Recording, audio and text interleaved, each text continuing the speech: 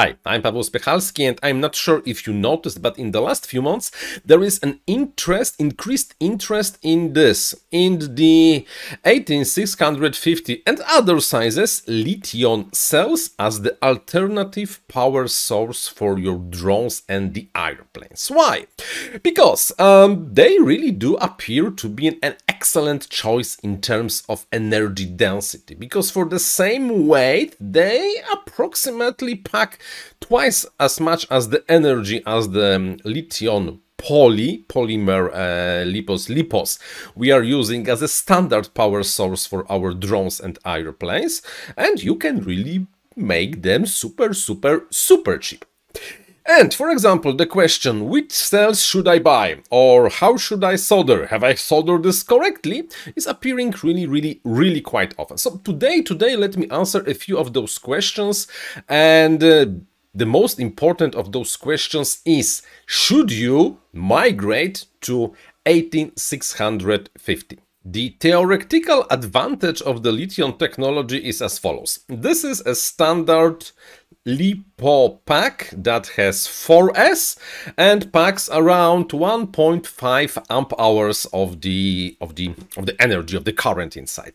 This is basically the same size uh, pack built with 18650 lithiums VTC6 uh, that weighs only only slightly more than the competition in forms of the LiPo and has the same voltage.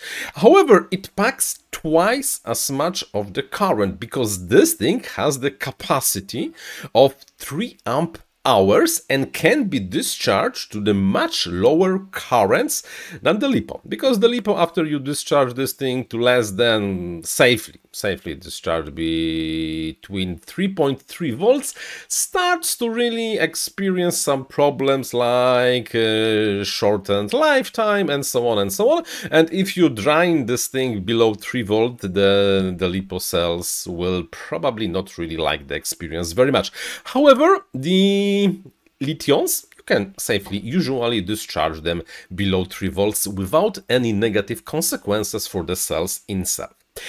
However, However, here we come to a completely different problem. We are using LiPos uh, because LiPos have a huge advantage over the lithium technology. LiPo allows you to get much, much, much higher currents than the lithium technology. You have to remember that with the well-designed and well-manufactured LiPo pack, you can safely drain around uh, 30 C or maybe even much more. For example, this pack, which is the Tattu, is rated for, I don't know, uh, 90 C, which say that you should be in theory able to drive safely, drain sa safely from this thing more than 120 amps without anything bad happening to the cell. That before the, the, the voltage sags appears, let's say that the practical value is around 30, maybe 40 amps before the voltage sag really becomes a huge problem. While with the lithiums, yes, I know that some of the cells say that 30 amp Okay, but this is the 30 amp of the safe level. That means that the manufacturers guarantees that at 30 amp discharge rate, the cell, lithium cell, will not explode. However, if we take the voltage sag into the consideration, honestly, anything that drains more than 10 amps from even the best, like the Sony VTC6 cells, is honestly slightly too much. Because on from my experience and also you can open the data sheet but detailed data sheets for the some of the cells that you can find there as soon as the current draw crosses let's say 15 amps the voltage really drops rapidly and that means that uh, you cannot go faster you cannot go uh, stronger you cannot go further because you need current to keep your drone in the air while the cell will start to lower the voltage to, to as the reaction to the relatively high internal resistance of the lithium cell. And that means, in the, on the practical reasons, 4S 2P cell like this one is safe around up to 10 amps of the discharge.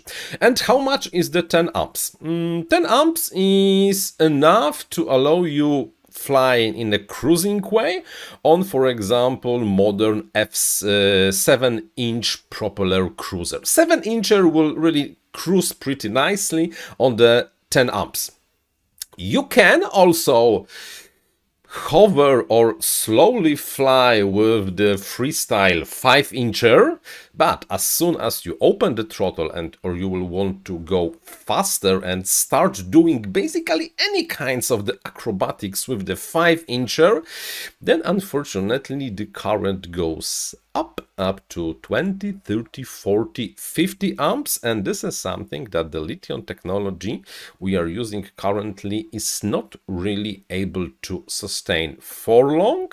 And yes the cell will probably not explode but the internal resistance will cause the voltage to suck and uh, you will either brown out or lose all the all the juice in the pack and you will be happy if you will be able to limp slowly home it's slightly different on the aeroplanes, because on the aeroplanes you can really have a cruising with the relatively low amp usage. Correctly uh, correctly. Well-designed airplane designed, for example, for the long range can easily fly uh, without, of course, any acrobatics, using even down to 2, 3, maybe 4 amps. Really, I, am not talking about the super low uh, current and super effective builds, but regular. You should be able to fly with below 5 amps. And because of that, the lithium technology really is good on the aeroplanes, with one exception the takeoff. On the takeoff, you almost always really have to open the throttle to the max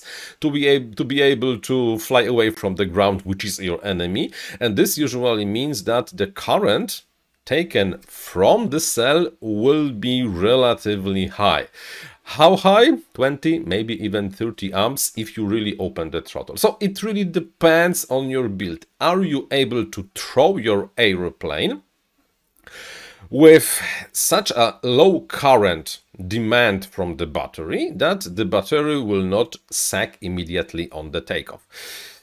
My airplanes unfortunately usually cannot do it. The one exception is for example ZOHD Drift which can like be thrown with 5 amps and then cruise on 2 amps so there is really not a problem. However my mini drag or other flying wings requires slightly more so this is why I'm not using 4S 1P that means that there is on in parallel only one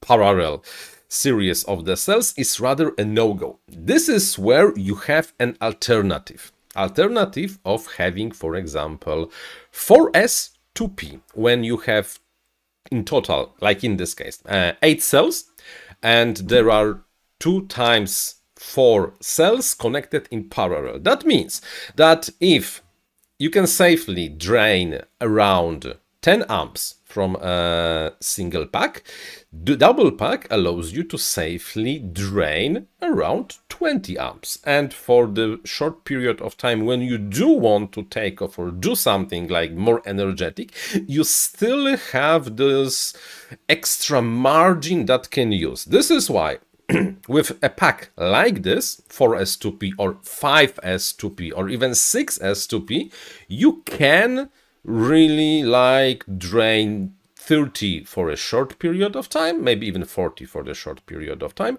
and 20 on the regular flight. But bear in mind, there is a cost, because such a battery is twice as heavy as such a battery, because with the same voltage, it has, of course, twice as many cells, and twice as much of the capacity, however it's also twice as heavy. So not always there is enough space of your drone on an airplane to fit it.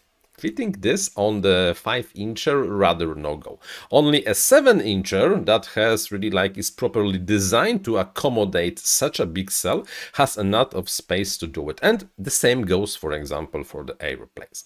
Completely separate case over here are ultralights. Ultralights 3, 4, maybe even 5 inch ultralights, which weight really like next to nothing, usually are slightly mm, limited in terms of the power demand.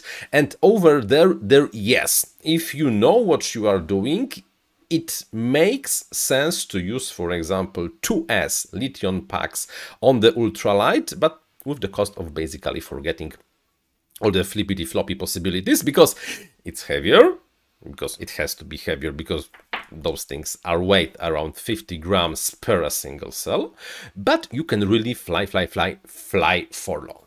So what's the final verdict? On the 5 inchers, going uh, lithium, no, rather really makes no sense. They really just pull too much amp to be able to safely use lithium 4S1P cells. You might be able to fly on a, with slightly more margin with 4S2P or for example uh, 6S2P. Uh, but then this thing is really huge and there's usually not really enough of the space on the 5 incher to put it. On the 7 inchers, uh, this makes this start to make sense. Uh, 4S2P, 5S2P, or going 6S1P, you might be able to have enough of the low current consumption to be able to fly to cruise for longer and go to greater distance. However, this still depends greatly on your usage. With the microlights, if the microlight is ready to accept 3S or 2S and uh, the current consumption is low enough, then yeah, you can go with lithium. And also with the aeroplanes, as long as the takeoff is not really a problem, you should be able to use lithiums without much problem. But one more time, it really depends on the hardware you are using. If you can take off with less than 20 amps, let's keep it safe around 15 amps, then yes. If not, then well not. Of course, if you combine with the 2P configuration, you can double the current, but then you would be uh, with 2P, you would be uh, you will have to be able to take off with uh, let's say up to 30 amps. If not, the cells might not be the happiest persons ever. And that, my friends, is um, I think all. So yes, lithium is a good technology, but it should be always considered if the gains, if the pros really are more important in the weight than the cons. And the ma major con of the lithium is really like limited current drain. 10 amps on the practical, we are talking practical, and, and let's forget theoretical because theoretical is good for the theoretical uh, thoughts, not for the practical really usage. If current is low enough and you are ready to accept that the current has to be low enough, go for it. If not, then no, it's really make no sense. And by the way, it's not always true that the lithium is always cheaper because if you will get a cheap cells from China, you will get really shitty cheap cells from China. And uh, truth to be told, the good cells, yeah, they are costly. They cost. So um, such a pack with the good cells might not be much cheaper than the LiPo alternative. And that, my friend, is all. Uh, thank you for watching. Until the next one. Bye bye.